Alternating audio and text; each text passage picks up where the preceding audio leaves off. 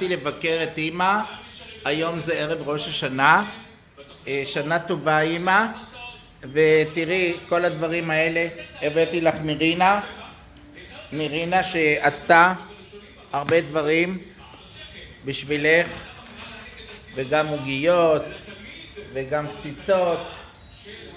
שנה טובה, שנה טובה, שנה טובה, לדוד גיבור, לה לה לה לה לה לה לה לה לה. שנה טובה, שנה טובה, שנה טובה, שנה טובה. אמא, שתהיה לך שנה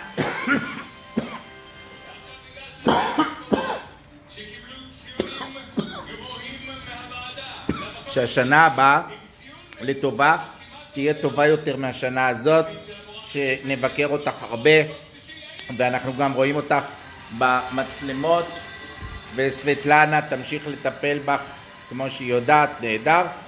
ואני שולח עכשיו את הוידאו הזה לרינה האהובה שלי שאת מתנהגת אליה כמו בת. והיא מתנהגת אלייך כמו אימא. שנה טובה